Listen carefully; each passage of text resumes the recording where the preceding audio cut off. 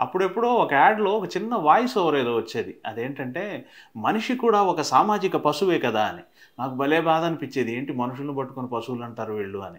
తర్వాత నాకు నేను ఎక్కడో చదువుతున్నప్పుడు నాకు అర్థమైంది ఏంటంటే పశువు అంటే పాశములతో బంధించబడిన వాడు పాశము అంటే ఏంటి ప్రేమ అనురాగం అపేక్ష? ఇది కదా. పాశములతో బంధించబడిన వాడు పశువు నట. అలా అని పశువు అని అనమంటం లేదు నేను. ఈ పదానికి చాలామందికి అర్థం తెలియదు కదా. ఇది చెప్తే ఆసక్తికరంగా ఉంటుందని చెప్తున్నాను.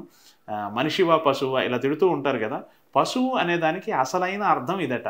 అర్థం తెలిసాక ఇక దాన్ని ఏ సెన్స్లో ప్రయోగించాలనేది ఎవరి చిత్తం వాళ్ళది.